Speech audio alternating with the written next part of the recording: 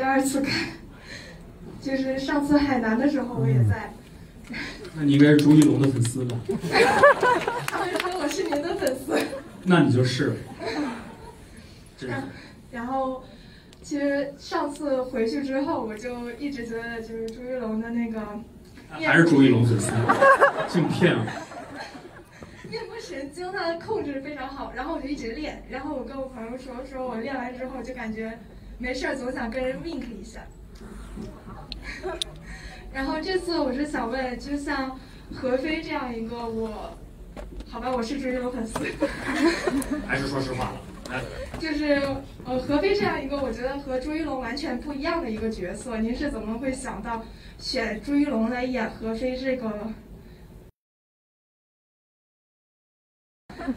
比较？就是关于选角的问题啊。好，其其实是这样，我相信这里面有很多艺龙的粉丝。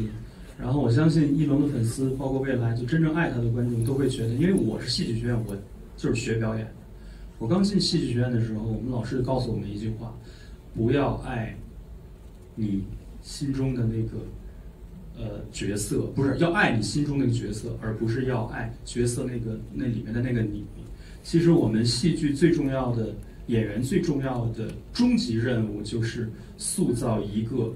又一个不同的艺术形象，一个一个的角色，因为只有这样，才能永远得到你们的爱，否则的话，我们的容颜也会老去，对吧？我们的身体可能也会发福，然后会有一代又一代的漂亮的男孩女孩出现，那我们靠什么才能源源不断的得到真正意义上那些理性的观众的热爱呢？那其实只有通过一个又一个不停的。经典的角色的塑造，一次又一次不停的超越自己，才有可能永远留住你们的心。所以，我一直觉得一个演员应该勇于尝试新的这样的角色，因为确实我跟翼龙刚刚接触的时候，他有一点点这样的顾虑，但是后来我就用这样的话术也给他洗了脑。但呃对，但但是其实我相信会有更多的观众会通过这部片子可能呃。